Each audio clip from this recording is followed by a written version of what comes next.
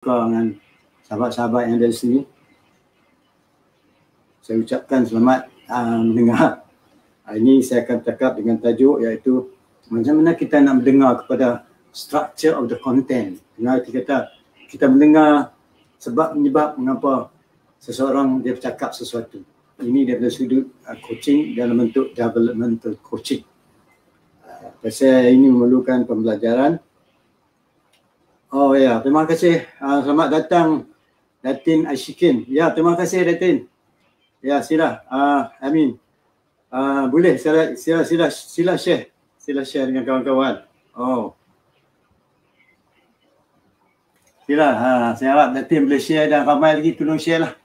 Uh, saya punya live ini mudah-mudahan uh, mendapat sikit uh, kebaikan dan mendapat kebajikan.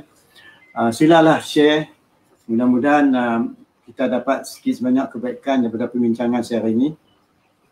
Alhamdulillah, uh, sebelum selalu uh, kawasan, kawasan saya di sini memang cuaca mendung, uh, guruh dah mula bunyi macam nak hujan. Harap uh, kawasan Datin di utara Taiping bagaimana Datin? Uh, cuaca elok? Boleh dengar suara saya dan uh, video dengan jelas? Tolong maklum sikit. Dan lain-lain sahabat yang dapat masuk, uh, tolong maklumkan di mana anda berada. Uh, sama ada line ini dapat dengar dengan jelas. Uh, suara dengan jelas gambar dengan jelas. Saya ucapkan ribuan terima kasih atas sumbangan maklumat yang tuan-tuan dan puan-puan berikan. Jadi semalam alhamdulillah uh, saya dapat bertemu dengan orang-orang hebat orang yang berpengalaman yang punya yang punya um, jawatan dalam masyarakat dan mendapat kepercayaan orang ramai orang yang berkaliber dan juga mereka itu merupakan orang berjawatan dan berkelulusan dan berpengalaman. Memanglah dia orang tu uh, selayaknya duduk di tempat mereka kerana memang memang bijak. Eh? Dan terdapat berbagai-bagai bidang yang mengikuti, mengikuti khusus uh, pemantap per, uh, pemantafan pemantapan uh, kemahiran coaching uh, yang saya siap uh, buat selama tiga hari iaitu bertiga, empat dan lima iaitu berakhir semalam dan alhamdulillah uh, uh, kita berjaya membuat live. Selama lebih kurang sepat, sepatutnya 30 minit. Tapi oleh sebab ada soal jawab alhamdulillah tahniah pada pihak tanya dan kepada mereka dapat masuk. Semalam pun saya ucapkan tahniah ribuan terima kasih. Dengan hadiran tuan-tuan dan puan menyerikan lagi perbincangan kita yang saya rasa alhamdulillah beri faedah kepada semua orang. Dan banyak soalan yang dikemukakan berhubung dengan coaching dan mentoring dan alhamdulillah yang datang-datang tu semua yang belajar dalam grup saya itu adalah orang yang memang ada pakar dalam bidang masing-masing ah, bidang keagamaan, bidang jawatan yang dia pegang dan uh, mereka ni adalah orang beramanah uh, dan berkaliber. Jadi cabas yang mana dapat ikuti semalam dan recording dia masih ada lagi, uh, saya on lagi, uh, saya tak delete. Jadi ke sesiapa yang ada kesempatan sila tengok dan kalau bagus sila share. Uh, Alhamdulillah. Malam pun dapat juga melihat ramai yang masuk. So hari ini kita punya tajuk uh,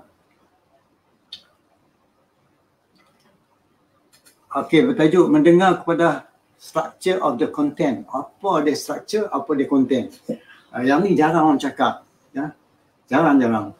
Uh, orang cakap listen to the content only. Uh, InsyaAllah hari ini saya akan bukakan sikit dia akan banyak sikit sebanyak uh, sebagai sumbangan. Uh. Ya sila uh, boleh saya tulis.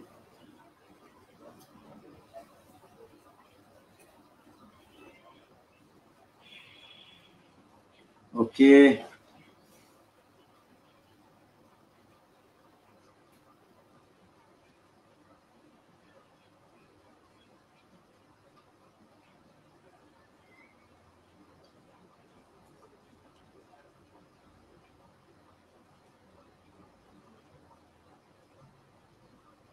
Ya, sila share Datin. Terima kasih.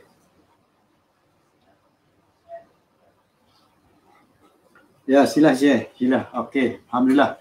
Oh, uh, saya tengok sini ramai juga yang masuk. Alhamdulillah ada Sabah dan Sarawak bermasuk kawan-kawan. Uh, Assalamualaikum. Dr. Syakir, semoga kita semua dalam lingkungan Allah. Alhamdulillah. InsyaAllah kita semua. Ya, izinkan share. Ya, sila Datin share. Selamat datang kepada Wan Mama Ashraf. Uh, selamat datang yang dapat masuk dan juga alhamdulillah jelas semua dan cuaca panas oh Latihan sikit kata cuaca panas. Jelas iaitu di dating. Ah, Said Al Al-Yudrus. Said Al-Yudrus ni daripada Kuching. Apa khabar Said? Lama tak jumpa. Ah, long time ni see you. Bila nak datang Kuala Lumpur? Ah, ini orang Sarawak. Ah, macam mana cuaca di Sabah? Ah, di Sarawak. Okey. Alhamdulillah. Abdul Hadi. Selamat datang Hadi. Allah Akbar. Ini orang hebat ni. Alhamdulillah. Terima kasih. Ah, kita punya Hadi masuk. Ah, saya terus bagaimana pula dengan kontak dan konten dalam coaching. Kontak dan konten. Ah, itu memang kita tak kontak satu suasana konten sebutan ya. Kontak tu keadaan yang yang mana mengikuti dalam coaching semalam mungkin lebih jelas apa kata kontak dan konten. Kontak merupakan kadang-kadang sejarah sesuatu telah berlaku ataupun sedang berlaku terpahat dalam fikiran dan sebagainya. InsyaAllah akan saya bincang mana ni. Dan uh, mungkin uh, sahabat-sahabat saya yang ada dalam kalau nak izin bagi sumbangan silakan. Oh, terima kasih. Ustaz Abdul Hadi kata dah share. Terima kasih. Oh, saya Idrul kata baru balik dari KL Sabtu depan. Masya Allah. Bagus, bagus. Tak apa, nanti kita ke lapangan kita jumpa. Terima kasih. Alhamdulillah.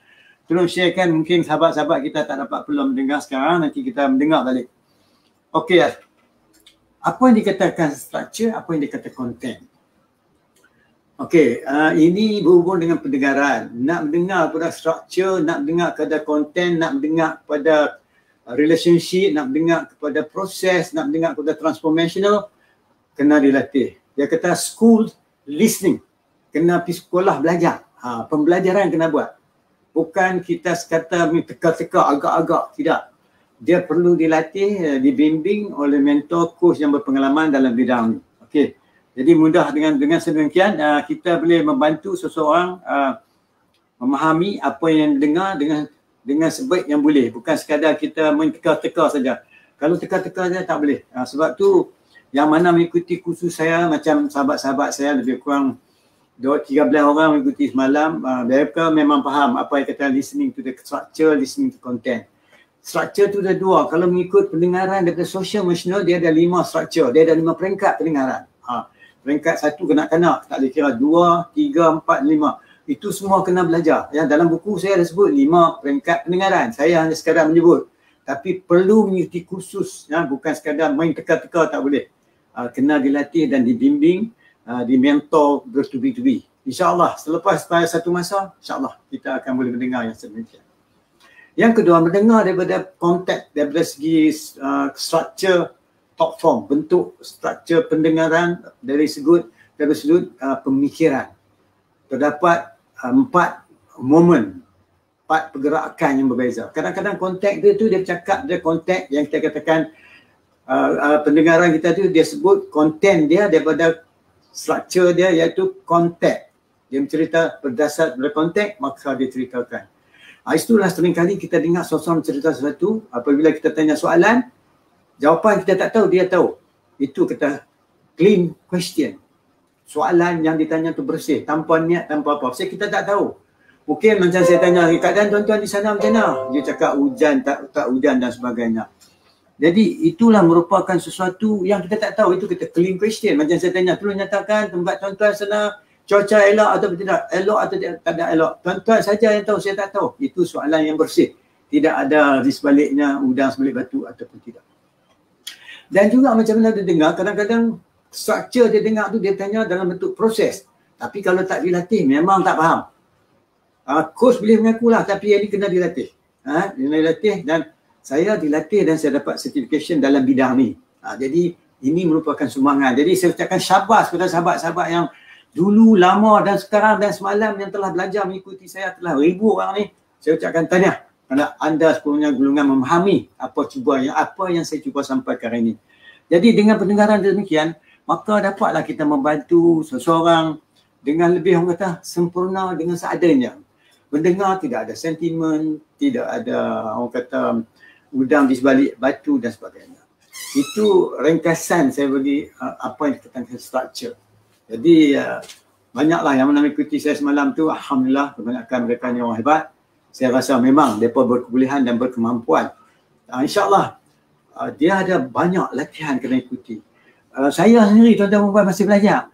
Uh, belajar tak ada lagi. Saya pembelajaran saja. Belajar saja coaching dekat dekat 500, 600, 700 jam. Belajar Bukan duk pandai-pandai nak belajar. Tak habis-habis belajar lagi. Saya tak tahu lah pula macam mana belajar 2-3 tahun. Saya tak tahu lah. Tapi saya dah belajar banyak tu. Tu pun tak pandai lagi. Tak pandai-pandai lagi. Masih lagi duk merangkak. Ha, tolong tanya. Ha, buat buat sikit tanya kepada sahabat-sahabat yang pandai-pandai. Jadi rupanya the more we share, the better we are. Kalau kita simpan, tak boleh. Kita kena sumbangkan. Jadi uh, seperti biasa tuan-tuan yang ada ingin bertanya di sini sila tulis di sini insya-Allah saya akan terangkan dengan lebih jelas. Sekarang ni saya bagi penerangan dulu uh, lebih kurang kalau ikut saya nak nak cakap ni lebih kurang setengah jam. Tapi kalau ada soal jawab insya-Allah kita lanjutkan. Uh, sebab saya suka melihat sahabat-sahabat masuk ya. Uh, semalam terdapat uh, seperti Profesor um, Subaidah Abdullah daripada UM masuk. Dan insya-Allah hari ini saya tengok kawan-kawan lama saya lama pun nampak ni masuk ini alhamdulillah. Itu pendengaran. Jadi kalau kita fikir kadang-kadang orang mencerita sesuatu kat kita yang saya sekarang ni makna saja tuan-tuan nak mendengar tu lain nak buat tu lain. Ini mendengar. Bila sahabat-sahabat uh, memang ikut di khusus ni yang pernah mengikuti khusus saya ni insyaallah dapat dengar lah ini dan share kawan-kawan. Pasal 17, 8, 17, 18, 19 ni saya ada lagi satu kelas iaitu pemantapan uh, uh, skill pemantapan uh, peman, pemantapan uh, kemahiran mendengar atau skill uh, pemantapan kemahiran coaching ni iaitu peringkat kedua akan bermula 17, 18 dan 19. Uh, dah lima nawan nama register. Sebab yang kita belajar ni betul-betul boleh membantu orang. Bukan kita minta teka-teka, min ikut suka kita. Sebab coaching kita mendengar untuk cakap. Satu. Itu saya cakap dalam bidang saya lah. Orang lain masing-masing lah. Daripada dia cakap tu, kita cari sesuatu yang membantu supaya dia mencari jalan menyelesaikan. Coaching mengeluarkan potensi diri seseorang. Jadi kalau kita tak mendengar dia cakap, kita dengar dalam kepala kita saja, maka kita letak soalan apa yang dalam kepala kita yang tak ada relevan, yang tak ada sangkut paut apa yang diperkatakan dengan dia, maka dia jadi long life. Lagu dan irama tak dapat dipisahkan. Jadi kita kena dengar apa yang dia sebut, maka kita tanya sesuatu yang ada relevan apa yang disebut. Maka itu kata efektif listening skill. Banyak boleh sebut tapi kalau kita nak sampai dalam umum tu kita boleh cakap. Tapi bila coaching one to one ataupun group, it's totally different skill. Dia memerlukan bimbingan. Uh, itu dia. Jadi kalau nak dengar macam tu, maka macam saya buat ni developmental coaching. Maksud dia seseorang sebelum kita nak coach, kita kena tahu dia duduk tahap mana. Ah, yang tu dia ada label-label dia macam-macam. Jadi macam-macam coaching, macam-macam style. Yang saya cakap ni style yang saya nak senangkan. Rupanya kalau kita buat macam tu, berlakunya yang kita kita fully fokus. Ha, klien tu dia betul-betul fokus pada kita. Walaupun kita cakap ramai orang keliling tapi dia masih fokus pada kita. Bukan kerana itu rahmat. Sebab dia mendengar dengan seadanya. Sedangkan banyak ayat Quran menyebut orang mendengar tu dapat pahala. Maksud dia mendengar benda yang baik lah. Dia takkan dengar benda yang tak baik. Maka semalam dalam grup saya mengikuti saya tu tuan-tuan dan puan-puan dia orang ni pakar dalam bidang hadis.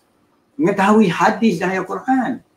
Bertetapan apa yang timbulkan bahkan saya pun berasa Alhamdulillah sama-sama belajar. Ha, jadi untung tuan-tuan. Jadi kalau tuan-tuan ada berpeluang nak mengikutinya saya kata silalah uh, skill yang sebaik boleh. Saya rasa-rasa banyak sahabat-sahabat ni. Tuan Syed ni pun dulu ikut saya lima tahun yang lalu. Uh, Syekh Syed ni daripada sahabat sama dengan profesor yang di UITM Sabah. Ha, sama dia one the first best yang saya latih uh, basic uh, coaching, business coaching semasa dengan Inchcam dalam tahun 19 uh, 2015 yang lalu. Betul ya Tuan Syed? Ha? Syed Al-Idrus, betul tak? Ha. Bersama dengan uh, Profesor apa saya tak lupa, dia selalu very very effective, very well known and very very good uh, kita punya uh, mentor coach dan uh, kita punya biz counselor. Uh, dia juga memang terkenal lah. Saya memang lupa nama pula. Selalu ada dalam Facebook. Okay. Itu sekarang rambang yang saya letakkan pada tuan-tuan dan puan. Saya sebut sekali lagi. Apabila seseorang menyebut sesuatu, dia menyebut sesuatu berteraskan pada structure ataupun bentuk the how dia melihat sesuatu, the how dia memikir sesuatu. Itu the how tu yang kita belajar. Sebab tu orang datang ke kita, apabila seorang datang pada coach dia telah selesai the biggest why kenapa dia jumpa coach dah selesai dah kalau tidak dia tak datang ke coach Why dia dalam coach tu merupakan structure menyebab dia jumpa coach. Ah itu dia hebat tuan-tuan. Jadi dia datang tu dengan ber- mengharapan. Jadi macam uh, Syed Idrus saya rasa dia dah lama dah. Betul, betul daripada tahun 2015. Ini orang berpengalaman ni, orang pandai ni. Cara tanya pun kita tahu orang pandai. Yang kali saya datang ke telefon saya tak apa, kita sembang tak apa. Dah balik tak apa, you take rest. Selamat, insyaAllah. Bagus, tanya Ali Zaid datang ke KL ni mungkin ada peluang rezeki apa-apa buat bisnes cantik. Selamat maju jaya. Jadi salam sahabat kita daripada Sarawak. Ramai daripada Sarawak ya, masuk Dayang dan sebagainya, Datuk Dayang dan sebagainya. Termasuk daripada Sabah dan Sarawak, eh, masuk Kedah, Polis, ramai. Balik pada saya cakap tadi. Macam mana kita mendengar? Sekalinya kita mendengar apa yang disebut, apa yang kita faham, kita tanya. Sebenarnya, apa dia cakap, kita kena faham apa yang dia maksudkan. Apa yang dimaksudkan, kita mendengar, kita bertanya, tapi kalau kita tahu struktur menyebabkan dia sebut sesuatu, maka lebih tajam soalan kita. It become more powerful question. Ha, soalannya cukup berkesan. Cuba belajar bentuk ni. Kalau nak ikut, ikuti kursus saya. Ha, saya akan buat kursus yang sama, level 1 iaitu pada 24, 25, 26. Alright? Iaitu pemantapan kemahiran coaching pada bulan ni 24, 25, 26, bulan 10. Tetapi yang advance-nya sanggupan nak buat pada 17, 18 dan 19. Oleh sebab saya buat ni atas permintaan orang yang berminat. Bukan saya paksa pun. Kalau tuan-tuan nak buat, mana saya kempen, saya tulis sikit-sikit itu saja. Jadi kalau minat sila. Masih terbuka, tuan-tuan boleh tulis di sini dan akan saya jawab. InsyaAllah yang mana tulis di Facebook, uh, saat lagi uh, selepas saya cakap lebih kurang dalam 30 minit, uh, 25 minit lagi, atau saya akan tengok InsyaAllah saya akan jawab apa yang ditulis. Ada mana yang saya mampu boleh jawab. Yang kedua, selepas kita mendengar, semua orang berebut nak tanya. Kadang-kadang timbul soalan yang bertanya, tak ada dia habis soalan, tanya soalan. Dia jawab soalan. Jadi yang tu saya kata ping-pong question. Bila ping-pong question, you tanya dia, dia letih, coach pun letih. So you have to learn how to be silent. Yang mana ikuti kursus saya, Alhamdulillah dia faham kan? bila you silent, you bertenang, dia bertenang. Jadi maka di situlah kita katakan ada wrong lingkup, kita we space. Itu dia kata mental space. Itu yang kata emotional agility. Membenarkan suatu relax sekejap, melihat sesuatu dengan seadanya. Soalan kita tanya kadang-kadang dia jenis reflektif ataupun uh, reflektif inquiry menyebab dia termenung balik apa yang disebut tadi. Bukankah sering kali orang yang pernah berpengalaman buat coaching Lepas dia tanya, kadang-kadang dia pakai reflective inquiry system tanpa bertanya. Dia paraphrasing, dia summarizing, dia accept apa saja yang diberi. Selepas summarize, bertenang, baru dia tanya. Selepas dia summarize tu, orang yang dengar tu betul balik apa yang betul dan tak betul. Ha, itu cara dia. Maka bila kita dah same wavelength dengan dia, maka perjalanan kita kuah dia jadi sempurna. Lancar. Seperti mana sahabat anak kawan-kawan saya tengok, eh Syakir, you kuah macam kesembang dia pun tak terasa. Bahkan dia rasa lebih selesa. Tambah pula kalau kita mendengar structure menyebabkan dia sebut benda tu. Ha, itu yang lebih tinggi. Itu level 4 dan kelima. It's very high. Ha, jadi tuan-tuan kalau buat macam tu, syabas. Jadi saya rasa ramai lah uh, yang boleh memahami apa yang sebut tadi. Misalnya seseorang tu kadang-kadang dia kalau cerita satu, dia mesti ada satu lagi. Selalunya bila orang cakap satu, cik, uh, Fiona, oh saya kerja. Kerja tempat saya ni cik memang banyak kerja. Saya sibuk selalu. Oh bos saya macam ni macam ni. Sebab dia akan cerita satu bentuk kita relationship. Relationship dia nampak dia dan sebagainya. Kajian dah dibuat dengan empirical data ya. Dokumen semua ada kat saya. Uh, dia punya artikel pun ada kat saya. Yang mana ni valid. Jadi kita boleh mendengar apa yang dikatakan sebab kalau seseorang tu kadang-kadang dia mencerita benda telah berlaku Setengah orang dah cakap dia bukan kontak. Dia mula cakap dengan sesuatu yang belum berlaku. Dia kata, ah sekarang-sekarang ni sekiranya saya jadi usahawan. Ah inilah saya nak buat. Itu menyebut, menunjuk kata dia punya harapan. Ataupun dalam bentuk proses yang sedang mencari-cari. Kadang-kadang mencari-cari, kadang-kadang tercari-cari, kadang-kadang dia dicari. Ah itu keadaan kadang-kadang bila kita buat coaching. Jadi saya tak mau cerita coaching, pendengaran biasa ya dulu. Selepas kita mengetahui bentuk-bentuk yang saya beri sekarang rambang ni, Baru kita berehat, bertanya soalan. Orang berebut nak tanya soalan kadang-kadang. Soalan tu salah satu. Dia ada banyak inquiry system. Kadang kita listen to the context. Kadang-kadang kita listen to the structure dia dalam bentuk relationship. Kadang-kadang dia dengar dia cakap sesuatu dalam bentuk eh, kontak.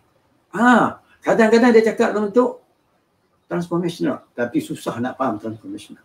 Kena dilatih. Dan kadang-kadang kita dengar dia cakap dari segi bentuk social emotional, dia ni orang berfikir. Dia ambil kira semua baru dia cakap. Tengok orang dia kira I don't care. As long it's good for me, I proceed. Ada dua. Satu dia kata it's good for me dalam bentuk dia suka orang tak suka lain. Tapi setengah cakap, dia menerima sesuatu, dia berteras pada nilai-nilai, konsep-konsep dia pegang. Ah, yang tu kena belajar. Kita tak boleh ikut suka. Sebab itu bila kita coach orang level ni, cara lain. Hak level atas dia banyak berpegang pada konsep dan value yang dia pegang. Ah, jadi tak sama. Tak sama kita nak, nak coach orang tu. Kita kena belajar lagi. Dan saya pun kena belajar. Itu contoh keseluruhannya. Jadi dua ada dua structure kita dengar structure social emotional dan structure kita panggil kognitif pemikiran. Structure kognitif pemikiran dia ada empat momen. Yang ada cakap dalam segi bentuk kontak, relationship, proses ataupun transformational. Sedangkan social emotional dia cakap dalam bentuk uh, satu uh, yang I suka, I cakap. Yang kedua dia cakap, I cakap satu saya tengok dulu. Kalau orang suka, okey. Kalau tak suka, saya tak okey. Walaupun saya suka. Okey. Yang ketiga dia bilang, ah, saya cakap satu berteraskan pada nilai-nilai orang cakap satu-satu pada nilai-nilai ni memang orang macam manager orang atas yang ada konsep-konsep. Dan last kali ni sebagai yang kelima tu orang ikut orang kata in the uh, in the way. Jadi yang mana dia ada saja dia menerima, dia mendengar. Sebab itu setengah orang dia boleh berkawan dengan orang. Ah, setengah orang tu dia boleh dia relax. Ha, dia walaupun susah tak nampak susah. Dia tak cerita ke orang pun dia susah. Tapi sebenarnya dia susah. Tapi dia masih bahagia. Tapi setengah orang kalau kita duduk macam ni, eh, you tak pernah susah. Jadi macam dia suruh kita pula susah. Ha, jadi pendengaran kena tahu tuan-tuan dan puan Jadi apa yang sampai ini merupakan suatu sharing. Saya harap uh, tuan-tuan boleh faham. Dan saya cakap pun dah 26 minit. Okey, kalau dah 26 minit, okey sekarang ni saya nak tengok aha, apa yang ditulis oleh sahabat-sahabat saya sini. Okey. Okey. Uh, Terima kasih Datin, saya dah izin share boleh. Oh Muhammad, uh, Alhamdulillah jelas semua Datin kata. Ya Syed, okey. Okey. Oh Adi, Alhamdulillah. Ustaz Adi bagi sikit pencerahan. Apa, macam mana saya menyampaikan tadi tu kalau boleh tolong share sikit. Okey, uh, saya terus tanya bagaimana pula dengan kontak dan konten dalam coaching kalau kontak itu penting. Okey. Okey, kontak tu maksud dia bukan kalau kontak hubungan satu, itu relationship. Satu lagi kontak dalam suasana dia cakap, itu pun satu. Dan satu lagi konten, konten tu apa yang keluar dari mulutnya. Dia kata konten atau words are internally generated mirage. Sebutan yang keluar mulut dari mulut itu dah hasil daripada sanubari seseorang. Kalau ikut kajian tadi dia, dia tidak ada slip of the tongue, tak ada. Memang terkeluar macam sesuatu yang selalu kita fikir-fikir pop dia akan keluar. Bukan tak sengaja. Memang dah sesuatu yang kita terfikir. Ha, kadang-kadang. Jadi seperti yang saya terangkan tadi uh, Tuan Syed Idrus orang kuat power man from Kuching selamat jaya iaitu dia kata itu beza dari segi satu kontak yang orang cakap dari segi macam kita buat kontak hubungan orang satu satu lagi kontak kita mendengar daripada segi suasana macam mana dia telah lalukan Oh saya cakap, you tengah kena faham. Saya cakap dalam konteks ni, you cakap konteks lain. Ah, itu maksud dia. Satu ki konten, konten sebutan. Jadi yang selalu coaching dengar konten saja. Tapi kalau yang dilatih, dia boleh dengar konten, dia boleh dengar structure, dia boleh dengar konteks, relationship, proses dan transformation. Ah itu dilatih. Terima kasih Tuan Syed. It's very good question you ask me. Alright. Oh, you go balik pada KL. Muhammad Ismada, uh, Ismadi Zaman. Muhammad Desa. Uh, terima kasih for kami. Nazimah Ima. Terima kasih so. Uh, saya terus kata nanti saya nak ambil di sini lah bagi share sikit. Uh, okay.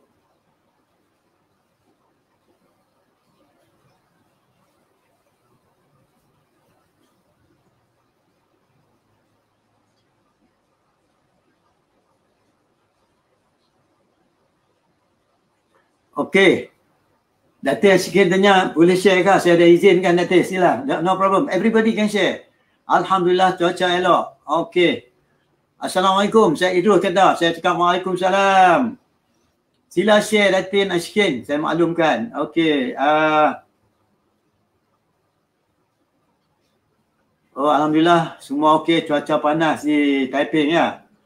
Okey. Uh, sila share. Dan uh,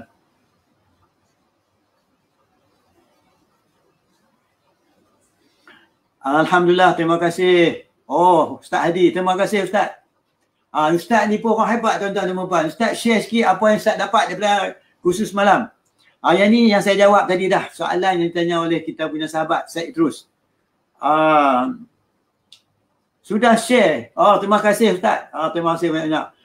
Baru balik dari KL Sabtu lepas. Ah, ini maklumkan Syed Terus. Apa dia kata? Setuju ke yang penting juga kita tidak leading dalam masa coaching. Betul. Okey, terima kasih Syed Idrus. Betul, yang dimasukkan tidak leading itu ialah dimasukkan oleh Tuan Syed yang leading question. Betul, jangan tanya leading question. Leading question berteraskan pada jawapan yang kita ada hadar dalam kepala. Kita reka soalan berdasarkan jawapan dari kepala kita. Kita tanya orang tu, itu kata leading question. Leading question tu sebenarnya kita tak menggalak orang tu berfikir. Ah, jadi betul Tuan Syed. Terima kasih. Ini anak murid hebat ni. Selamat jaya Syed. Ah, okey. Listening skill terbaik. Okey, terbaik kan? Okey, itu dia sikit sebanyak. Terima kasih kepada sahabat yang uh, dah beri sikit terangan ni. Fokus Dr. Kochi itu salah satu daripada kejayaan coaching session. Betul, fokus. Nak fokus tu tertakluk pada listening skill. Listening skill tu banyak cara. Satu, listen to the content, listen to the structure, listen to the structure, dia ada dua. Dia ada sudut content, social emotional, dia ada sudut kognitif. Kalau sudut kognitif, dia melihat dalam empat momen sama ada contact, relationship, proses dan inter apa transformational. Yang saya sebut tuan-tuan dan puan-puan ni kalau tuan-tuan baca dalam buku pun susah nak faham. Kerana ikutilah kursus saya. Masih terbuka. Dan satu lagi mendengar daripada sudut social emotional yang saya sebut tu. Satu dia melihat satu daripada sudut yang dia suka melihat satu. Kadang-kadang orang mendengar sesuatu melihat satu dia panggil selective listening. Dia mendengar yang dia nak dengar saja. Orang certain peringkat, ah, bila dia dengar apa yang dengar tu kadang-kadang kita cakap dia macam mau tak dengar. Kadang-kadang saya, saya tengok coach, kesian. Kawan coachnya bagus yang fikir, dia tanya soalan kau tu buat tak tahu. Because dia ni selective listener. Sebab tu kita kena tahu siapa yang kita nak coach. So you got to train about the human so you got to know you as a coach what you should know, what you cannot do, what you can do. Uh, siapa yang boleh coach, siapa yang tak boleh coach. Bukan kata semua orang kita boleh coach. Uh, yang tu saya tak tahu lah. Kalau saya dah maklum kat saya punya ni semua macam yang saya maklum tadi dia kena tahu siapa yang dia nak coach tu. Okey. Terima kasih tuan Zaid ah uh, dia setuju. Alhamdulillah. Terima kasih ah. Uh, okey alhamdulillah. Um, apa pula ni? Terpaksa balik awal kerana kuarantin 4 Oktober mula. Dia kena balik dah. Ya kena balik. Hari ni dah 6 lah. Ha betul. Terima kasih. Selamat Zaid insyaallah mudah-mudahan hantar lagi sihat. Ha. 24 26 Oktober confirm. Oi. Okey, terima kasih. Confirm apa tu? Balik. Ha, tu dia. Terima kasih. Gali potensi yang tersembunyi. Oh, terima kasih Ustaz Hadi. Okey, banyak orang suruh gali. Tak tak tahu menggali tuan-tuan. Dia backfire. Ha, so, terima kasih Ustaz Hadi. Uh, apa yang disampaikan Ustaz, Ustaz tentu dapat merasai bagaimana kalau seseorang tu dikurs secara yang betul. Dia berasa tenang dengan seadanya dia rasa sedap sembang sama kita. Lagi lama dia lagi fokus, lagi tajam, lagi mudah. Dah bahkan selepas kita coach dia balik, dia masih teria-ia lagi mengat sesuatu yang terbaik, satu yang baik dia tak melepas kadang-kadang. Ah, itu kita tengah coaching. Bukan kita tak, tanyalah dia orang kita coach. To be a good coach, you must be coached by a good coach. If you want to be a coach, you must know how you feel to be coach. Kalau kita cerita coaching, coaching, coaching, kita pun tak pernah buat coaching dan kita pun tak pernah coach, it's quite difficult. So kita kena rasa sikit, oh ni kata good coach macam ni. Ha. So it's, it's, it's a matter of how you see Gali potensi yang tersembunyi, itulah matlamatnya serangan coaching. Kadang-kadang orang tu main dia kita, dia kata dia ada, ada isu ni. Kita dengar. Jadi dia kata macam ni, macam ni. Jangan kita pula reka, kita tahu, oh jawapan dia macam ni. Pasal dulu kita coach Mr. A, jawab macam ni, jawapan macam ni. Maka kita cipta soalan berdasarkan apa yang kita fikir. Itu bukan coaching tuan-tuan dua faktor jadi mentoring dan juga konsultasi. Sebab tu kalau kita mendengar kita tengok kita tahu. Tapi patut actually coaching dia dengan kita kita tak tahu tengah-tengah Allah. Sebab tu saya maklum dengan murid saya apabila you coach seseorang ikhlas. Sebab you coach di tengah-tengah Allah. Kita kena run away. Niat kita mesti baik. Baik tu kita kena tahu siapa kita coach. Bini orang anak orang apa ni bapa orang tok orang semua itu kita coach. Antara kita ya Allah no matter how good you are no kita masih lagi hamba Allah dan dia pun hamba Allah bahkan bila seorang tu coach pada orang tu orang depan dia tu memang berkemampuan dan maklumlah seperti yang dia orang tahu apa beza coaching, mentoring, semua dia orang tahu. Jadi kalau dia orang dah tahu tu, terapi dan sebagainya taklah berlaku berselaru saat lagi, confuse, speaker, macam-macam lah. Jadi kita kena selesaikan dulu apa yang dimaksudkan. Alright, terima kasih. Terima kasih Hadi. Uh, kalau ada apa-apa soalan lagi, uh, sila mengukakan. Maka di sinilah apa yang dikatakan Cik Hadi ikut tadi ni, gali potensi tersembunyi ni. Apabila dia sebut gali kondisi sini kita berkemampuan mendengar melihat apa yang disebut. Jadi orang duduk depan rumah kita depan kita yang melihat kita melihat dia keseluruhannya apa yang dia cakap. Intonation tekanan suara dia ha, dan sebagainya menunjuk body language dan sebagainya. Tapi kita hanya seorang boleh cerita body language tapi masa cakap dia tak nampak body language orang tu pun dan pernah saya tag dia belajar belajar sini tapi masa coaching dia tak nampak semua tu tak boleh nampak. Tu saya kan. Padahal kawan tu sebut dengan nyata. Badan dia dengan nyata. Tapi dia yang belajar. Dia cerita boleh. Tapi nak buat tak jadi. Itulah kena dilatih. Mengetahui satu, nak melaksanakan satu. Sebab tu dia kena ada bridging. Ha, sambungan. Tahu dengan nak buat. Ha, yang tu kena belajar. Jadi banyak kawan-kawan kita pengalaman. Tuan-tuan boleh tanya dia orang. Ha? Dia apa lagi yang tu tulis? Ya doktor, nak bantu orang kena minta bantuan Allah. Oh tepat. Masya Allah ini coach hebat. Ah, ini coach hebat lah. Sebab memanglah kita minta bantuan Allah. Mudah-mudahan Tuhan buka lagi minda kita. Sebab tu bila kita coach, kita minta bantuan kepada Allah supaya kita lebih bertenang. Kita relax. Jangan coach panik. Kadang-kadang coach yang panik, coach lalu sangat sampai coach pun tak dengar apa. Lalu coach pun pening. Ha, jadi bertenang. Ha, betul. Terima kasih atas sumbangan yang tulis oleh apa ni Ustaz Adi. Terima kasih. Ini ini bakal kos-kos yang hebat ni. Mudah-mudahan apa yang saya bagi pencerahan yang ringkas ni sedikit banyak bagi sedikit kebaikan ya pada tuan-tuan semua. Jadi uh, ada siapa-siapa komen lagi? Uh,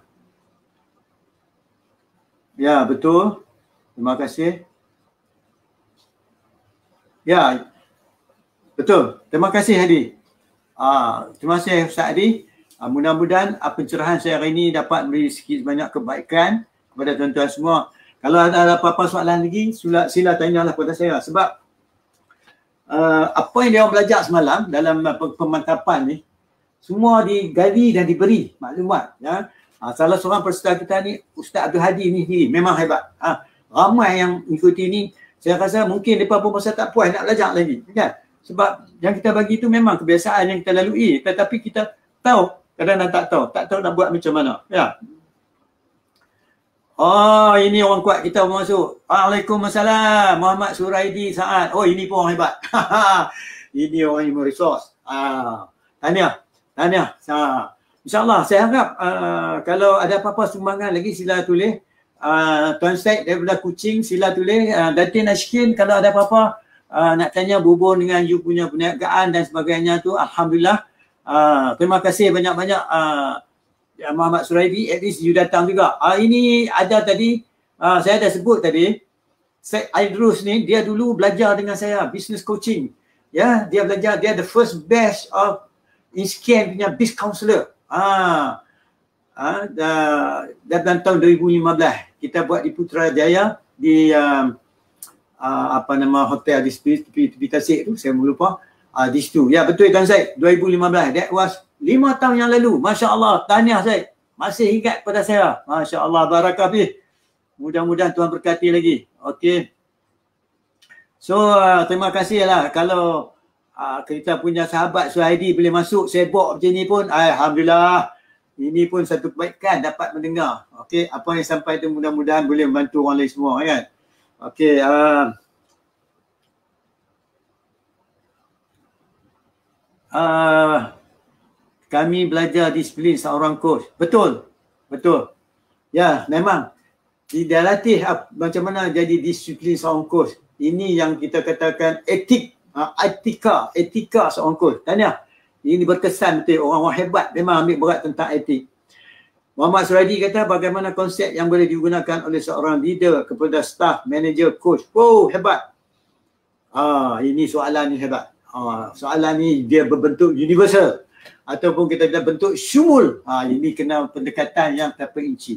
Kita ambil langkah pertama. Sebelum kita nak gunakan uh, konsep leader, makna leader ni, makna leader sendiri pun kita mesti dapat clarification. Apa yang dimaksudkan leader? Kalau kita coach orang pun kita nak apa yang dimaksudkan leader bagi pahaman dia daripada konsep dia. Kemudian apa yang dimaksudkan manager? Okey, dia ada perbezaan leader, manager dan staff. Setengah orang kalau dia leader, manager, power. Kalau dia dia coach, leader, manager, lagi power. Ah, jadi dia mengetahui beberapa konsep-konsep yang ada bersangkutan dengan leader. Tenang ni, dia ada macam ni ya. Uh, terima kasih atas sumbangan yang tulis ni orang dalam pikar dan pakar dalam HR ni macam itulah. Ada satu orang sebut leadership coaching. Jadi dia coach kepada orang nak jadi leader. Satu lagi dia kata leadership coaching ialah orang yang dia jadi leader tetapi dia gunakan teknik coaching. Ah, ya, ini pencerahan yang saya bagi di cukup mendalam. Saya harap Cik uh, Muhammad Suraidi faham ah. Satu uh, leadership coaching kita train dia nak jadi leader dalam coaching. Dia leader belajar coaching satu. Leadership coaching leader belajar coaching. Satu lagi leadership coaching dia seorang coach dan juga seorang leader. Dua perbezaan makna sebab tu seorang coach dia akan tanya clarification. Jadi terima kasih atas sumbangan yang sampaikan Cik Suradi yuk kata dia faham. Dan yang kami buat ni kedua-dua buat. Ada yang leader coach dah ada ada setengah dah nak jadi leader, dah jadi leader jadi coach pun ada. Okey. Bagaimana manager? Okey. Sebenarnya sekarang ni kebanyakan manager yang saya jumpa termasuk CEO, ada executive chairman, mereka dah belajar ilmu coaching. Dan dia guna teknik coaching bila bercakap. Sampai tu kadang-kadang cara dia cakap, penyampaian dia, message dia cakap tu sampai. The biggest issue in leadership is how to keep the engagement. Engagement antara leader dengan bawah engagement tu. Macam tu juga dengan coaching. Bila coaching bila kita coach orang tu dia fully co-engage dengan kita. Mudah kita coach. Saya ingat mungkin uh, Surani dengan Mama uh, dengan Hadi uh, Ustaz Hadi dan Surani ni boleh faham macam mana saya sembang seorang-seorang tu 15 20 minit je. Terpaku dapat solution. Injuk kata seorang tu dia boleh mendengar dia fokus. Ah, itu dia leader. Tapi itu Rasulullah SAW bila cakap dengan seorang pun dia fokus Ah dan kita pun bincang banyak teknik-teknik. Saya dah juga dulu dalam tahun 1990 saya belajar comparative management. Yang semua management termasuk Islamic management dan sebagainya. Dan termasuk ya kita belajar Quranic thinking. Uh, kita belajar juga dalam tahun 1990. Jadi belajar dulu banyak. Uh, InsyaAllah Alhamdulillah. So terima kasihlah atas sumbangan yang diberikan. Uh, sebab tu kebanyakan yang advance stage yang saya buat ni maka akan keluarlah benda-benda yang disebut oleh Suraidi ni iaitu macam mana leader, macam mana manager, macam mana staff, macam mana coach. Jadi kalau leader tu dari coach dia akan dia orang kita cascading down. Dia akan turun turun turun ke bawah. Ha itu untungnya. Mudah buat kerja. Relax yang buat kerja. Ya, tak ada tekanan dan sebagainya. Itu yang memerlukan dia deliberately developmental organization. DDO, Delivery Developmental Organization. Developmental ni apa yang tuan-tuan belajar semalam tu, ketuhannya tu developmental. Bila berbentuk developmental, kita buat satu, kalau buat silapan, dia kira apa? It's a process of learning. Bukan sengaja. Tapi kalau tak dilatih, tak boleh. Jadi, tak perlu supervision kadang-kadang. Sebab dalam etika uh, productivity ataupun effectiveness seorang Islam, benarnya dia tak payah monitor. Sebab dia tahu Allah melihat dia. Dia buat satu kerana Allah maka dia punya keyakinan kepercayaan tak payah dimonitor. Ha, itu dia. Terima kasih atas sumbangan daripada kita punya HR. Saya harap kalau boleh Advan uh, Cik Suradi saya dah cakap dah tadi boleh kita tengok apabila kita boleh mula boleh tak ada tarikh tu ataupun macam mana you beritahu kat saya. Tapi tarikh tu memang kalau siapa minat boleh. Saya terus kata engagement buat repo. Bila repo mantap mudah nak engage. Betul? Ah. Repo saya InsyaAllah lah mungkin Ustaz Adi boleh cerita lagi macam mana dalam dalam masa 20 minit Bila saya coach dengan fully engaged, dengan repo, dengan semua sekali dapat dengan decision. Semua orang macam tak percaya. Tak payah makan berjela-jela dan sebagainya. Maupanya you have to have a good listening skill. Bila kita nak buat engagement dengan repo tu, sebenarnya dua perkataan yang berbeza. Engagement, repo. Repo punya kan proses. Engagement dah fully engaged. Jadi fully engaged ni kadang-kadang bila cakap seorang-seorang tuan-tuan dan perempuan, lepas habis kurs, habis kurs dia, betulnya, oh kita bisingnya. Padahal kita cakap dia dah 25 minit, dia tak sedap kata tengah dia cakap tu ramai orang keliling dia. Kenapa? Dia bagi tu khusyuk dengan apa yang kita bercakap. Sebab dia punya fokus kepada kita. Dia mendengar setiap butir disebutkan. So coach dilatih mendengar every single words yang disebut oleh klien. Itu yang dia bilang terkacing letih, melatih dia orang. Bukan kita dengar agak makna saja. Tidak, tuan-tuan dan puan Dia mendengar semua huruf. Sama ada uh, boleh dengar atau tak boleh dengar, tertakluk pada kemampuan seorang yang dikatakan jadi coach. Wah, terima kasih. Very good. Uh, this is very interesting. Semua yang tanya ni memang ada pengalaman dalam coaching. Jadi saya terus, you kena ikut lagi ni pencerahan ni. You kena follow up lagi. You dah lima tahun ni kena upgrade lagi. Handphone kita upgrade, television kita upgrade. Pembelajaran kita pun kena upgrade. Ha. Minta Allah, insyaAllah. Dulu saya pergi ke Sarawak, saya buat lebih kurang 250 orang ya, mengikuti kursus saya. Ha, iaitu saya tak dapat hubungan saya lah. Satu tu saya buat uh, sebelum 2015 tengok. Ha, selepas 2015 saya buat di Kuching. Alright. Dah saya cakap tuan-tuan dan puan 46 minit. Ha, saya kemukakan kalau ada apa-apa soalan lagi uh, tolong nyatakan insyaallah saya akan saya harap apa yang saya beri ni memuaskan. Uh, stu, uh, is it okay kah kepada Ustaz Hadi uh, juga kepada Tuan Syed uh, Idrus dan juga kepada kita punya Suraidi? Okey kah? Datin semua okey kah? Ada apa-apa soalan? Memerlukan lagi pencerahan termasuk Cik Jamilah Said. Ada apa-apa soalan? Uh, sila kemukakan sebab ini merupakan uh, sembang-sembang. Sembang-sembang Master Ku ni you boleh sembang sama bukan you tak boleh eh? Okey. Rasa diberi perhatian masa repo. Betul. Ah ini dia cakap orang ada pengalaman. Tuan saya, ah, ini orang pengalaman tuan saya macam you juga. Dia telah melalui itu sabit tu dia kata dia rasa waktu bercakap tu coach bagi perhatian kepada dia. Oh, power. Ah, ini orang cakap ada pengalaman. Jadi mudah dia faham. Maka di situlah tak payah kita bertegang-tegang leher, tak payah kita nak ulang-ulang. Mudah. Kadang-kadang kita cakap sikit dia faham dah. Kadang-kadang kita cakap tak habis kan dia dah dapat sesuatu dia bagi. Itu kelebihannya kalau kita mampu. Kalau yang selalunya saya cakap ni, saya menggunakan semua teknik pendengaran yang saya sebut tadi. Okey, bukan saya bercerita. Saya melatih orang nak dengar macam tu. Jadi saya welcome. Terima kasih banyak-banyak ah, kepada Ustaz Abdul Hadi. Ini orang-orang hebat. Ini orang pengkat da'i-da'i ini semua memang hebat. Power, berkebolehan. Menyampaikan sesuatu dengan semudahnya boleh. Seperti yang saya kata dulu, kadang-kadang bila kita cakap pada seseorang, tak ada habis kita cakap, dia dah rasa dah maksud dia. Ada setengah orang kita cakap, dah habis pun dia tak rasa lagi.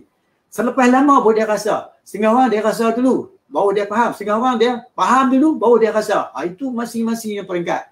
Ha, itu kita terletak pada structure kepada seseorang. Ha, terima kasih. Uh, hari ni uh, banyak orang semalam tak main. Nampak ya kita punya profesor tak datang. Uh, Profesor Raja Masnah ada Oman pun tak masuk. Uh, Profesor Zubaidah pun tak masuk. Mungkin mereka ni ada lecture dan sebagainya tak ada. Kalau tidak mereka selalu masuk lah ni. Mungkin mereka sibuk ni. Okay Uh, ada apa-apa soalan lagi tuan-tuan dan puan Nanti saya cek. Oh. Okey, uh, rasa diberi perhatian masa repo. Betul? Alhamdulillah. So sekarang ni, apabila dapat melihat cara kita buat repo, maka dia pun tahu macam mana good repo and good engagement berlaku. Kalau kita mengajar pun, kita duk cerita, kita buat pun tak jadi macam mana dia nak faham. So, understand. Kita mendengar nak faham dulu. Lepas tu, baru kita faham, baru kita buat tunjuk cara kepribadian. Jangan kita cerita saja barulah depa boleh ikut apa yang kita sampaikan. Ha, itu sedikit sebanyak pencerahan yang saya berikan. Ha, ada apa-apa lagi Tuan Syed? Ada apa-apa lagi Cik Rosai uh, Rosaidi uh, dengan Ustaz Adi? Terima kasih banyak-banyak. Uh, semua pencerahan yang begitu memang tepat sekali. Alhamdulillah ini bersama saya ni semua orang berkualiti. Maksud dia dia ni ada ilmu. Ha, bagus. Dan terima kasih banyak-banyak. Uh, Tuan Syed pun lama saya tak jumpa. Alhamdulillah kebetulan Tuan Syed boleh masuk. Lama juga. Ha? Tak lama tak jumpa Syed dah lima tahun. InsyaAllah. Uh, ada apa-apa lagi soalan tuan-tuan dan perempuan? Saya tengok dulu kok ada sini soalan yang saya terlepas. Alhamdulillah. Okey. Jadi uh, kalau tak ada apa-apa halangan, saya ingat uh, setakat ni sajalah saya dah cakap lebih kurang 49 minit. Menunjuk kata saya akan cakap lebih kurang 50 minit. Saya ucapkan ribuan terima kasih sembang-sembang ini. Dalam Seri kata memberi sikit sumbangan pada anak murid saya dan juga pada sahabat-sahabat yang baru masuk ini. Saya ucapkan syabas kerana Tuan masih lagi mengikuti apa yang saya sampaikan ini. Ah, terimalah sebagainya saya bagi ini sesuatu sumbangan. Uh, ni siapa tulis ni? InsyaAllah jumpa nanti. Terima kasih Tuan Syed. Uh, we see you again. Tuan Syed ni ialah konsultan, dia seorang trainer dan seorang coach. Hebat. Okay, daripada kucing ni. Dan saya ada lagi beberapa orang sahabat saya yang jadi coach yang tu. Iaitu saya ingat uh, Dr. Thomas uh, ada di sana. Nanti insyaAllah uh, mungkin kita boleh jumpa. Dan insyaAllah mungkin satu hari kita akan berjumpa sekali lagi dengan sahabat-sahabat saya di sini. Penyampaian yang saya sampaikan tuan-tuan ini sebagai saya sembang-sembang santai, bukan nak terang performer, kan tak lah, tapi penuh dengan ilmu yang mana setakat yang saya mampu sampaikan. Saya sendiri pun banyak kekurangan. Saya sendiri pun masih perlu di uh, mempelajari. Okey. Uh, ni siapa tulis ni? Oh, ini komen daripada sahabat kita. Ni Kus Suraidi. Tuan Saat. Doktor cerita sikit pengalaman doktor coach orang hebat sebagai penutup. Oh, saya tak boleh cerita lama. Okey, cerita sikit. Coach saya coach dengan orang ni saya tak tahu. Semua orang pun, semua orang boleh coach. Tapi nak kata hebat macam mana pun saya tak tahu. Saya, sebab saya coach. Ha, jadi coach mungkin mungkin lah.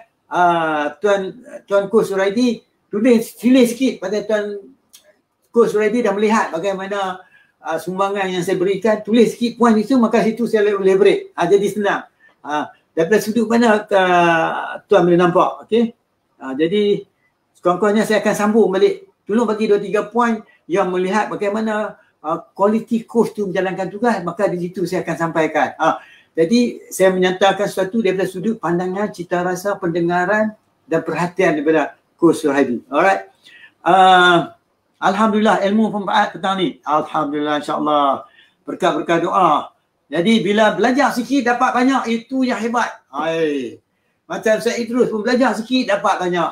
Ah, Syed sebab tu juga ah, kita Muhammad Suraidi. Cakap belajar sikit dapat banyak. Begitu juga kita punya Ustaz Abdul Hadi.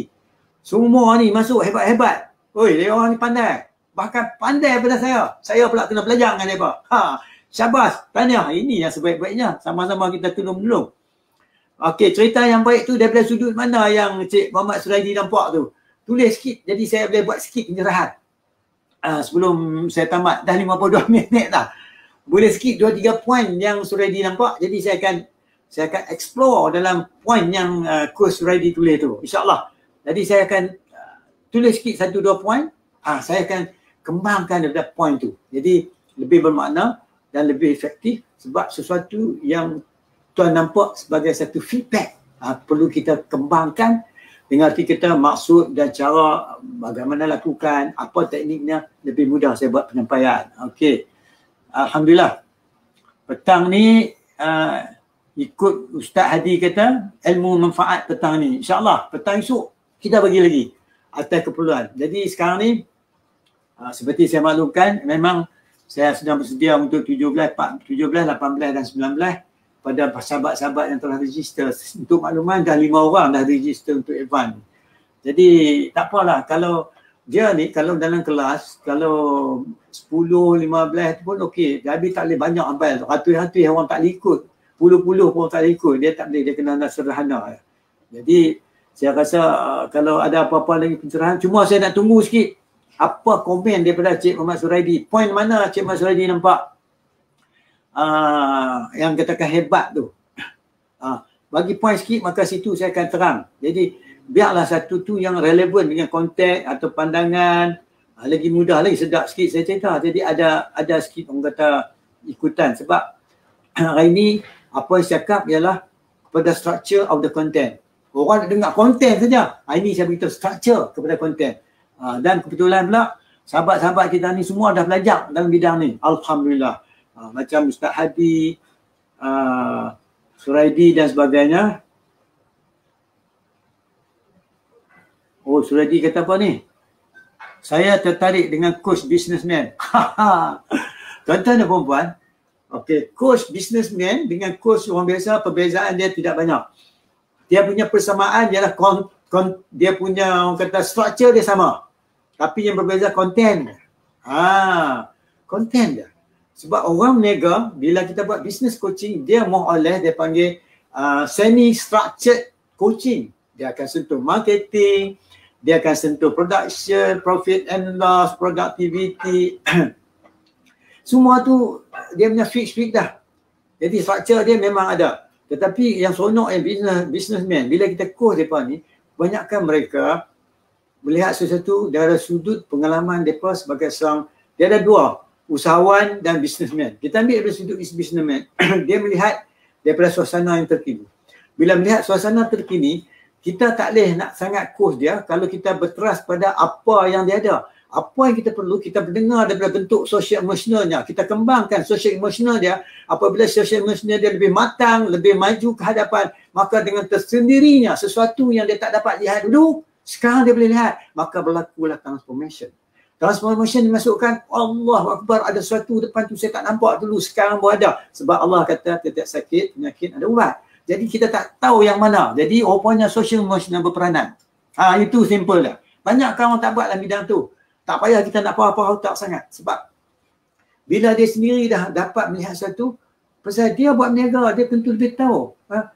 Cuma kita tanya sebagai satu pemudah cara. Kita perkatakan mind opener. Coach menjadi sebagai mind opener. Ha, dia buka pemikiran dia. Sebab tu the structure tu sebenarnya ialah membantu dia untuk cari idea. Tidak macam mana dia nak buat destructive teknologi. Ha. Yang kedua, orang datang course yang kita ni, dia ada matlamat. dia clear dengan matlamat. Cuma dia tak tahu sama dia buat, tak buat. Kadang-kadang dia buat tapi dia main nak dapat kepastian. Orang kata affirmation. Sama ada dia buat betul tak betul. Ha, itu dia. Jadi, saya ingat kalau ini merupakan satu keperluan, ha, kalau ramai nak mungkin saya akan buat special talk. Okay bertrust kepada businessnya. Okay, business ni dia termasuk profit and loss. Sengat tuan-tuan dan puan, profit and loss dikira di ujung tahun. Alright, profit and loss dikira ujung tahun. Kalau menggunakan algorithm, algorithm dia kirakan and result dia macam mana, baru dia kira patah balik. Macam tu juga orang bisnes sekarang ni, dia kira berapa persen profit, dia mu, mu sampai sekarang. Tapi along the way, dia subject, tertakluk kepada suasana, environment, ekonomi dan sebagainya. Maka nak menyelesaikan benda tu memerlukan hindsight thinking, insight thinking, real side music. Macam-macam jenis thinking capability. Sebab tu dia panggil kadang-kadang design thinking. Design thinking tu separuh di dalam daripada developmental coaching. Design thinking dia berteraskan pada empati juga. Sama. Dia baru lagi pada developmental coaching. Okay. Ha, jadi kita tahu benda ni ha, apa yang dimaksudkan dengan design thinking dan sebagainya. Jadi saya ucapkan terima kasih kepada yang tanya. Terima kasih. Harap esok jangan lupa Muhammad Suraidi. Tolong share kepada sahabat-sahabat kita. Saya tengok ramai lagi sahabat-sahabat tak masuk ni. Uh, daripada Langkawi tak masuk. Okey, daripada macam uh, banyaklah saya tengok yang semalam yang orang banyak yang tak masuk. Jadi uh, setakat ini saja saya ingat. Saya ucapkan ribuan terima kasih kepada yang bertanya dan terima kasih kepada yang komen. Terima kasih semua yang ada di sini. Okey, saya ingat lebih baik saya nak tengok siapa. Saya ingat terima kasih kepada semua yang ikuti percakapan saya. Datin Ashikin, uh, Wan Muhammad Ashraf, terima kasih Cik Wan. Uh, Syed Idrus, uh, termasuklah juga kepada Ustaz Hadi. Uh, uh, bahasa tu ni kepada Muhammad Isa Madi ya. Ismadia Zaman, terima kasih. Uh, Nazimah, terima kasih. Uh, Tina, ya Tina, ni orang lama semua. Tina dan termasuk juga lah uh, kawan kita uh, uh, Puan Jamilah Said. Terima kasih Puan. Mudah-mudahan apa saya cakap ni memberi kebaikan kepada semua. Jadi tolong share lah kepada kawan-kawan kita dapat mendengar. Terima kasih kepada Muhammad Coach Dr. Suraidi. Uh, Suraidi Saad, terima kasih. Uh, mudah-mudahan esok kita jumpa lagi ya. Terima kasih banyak-banyak. Yang mana tak sempat mungkin boleh tengok recording. Uh, semalam pun ada juga. Jadi saya ucapkan syabas. Terima kasih banyak-banyak atas sumbangan. Sudi datang mendengar semang-semang saya petang ni. Mohon maaf silap cakap, laju cakap, kurang penjelasan dan sebagainya saya buat dengan seadanya sebagai satu memperkenalkan sesuatu konsep-konsep atau idea seringkali orang tak didedah. Jadi saya openkan to other people. Saya harap apa yang sumbang ni merupakan sikit kebaikan walaupun sikit mudah-mudahan dapat berkat. Saya minta maaf dan esok kita jumpa lagi. Kita habiskan dengan sini. Mudah-mudahan Allah Alam. Saya pun tak tahu ramai orang faham, faham lagi banyak. Kita jumpa tuan-tuan dan puan besok. Assalamualaikum warahmatullahi wabarakatuh.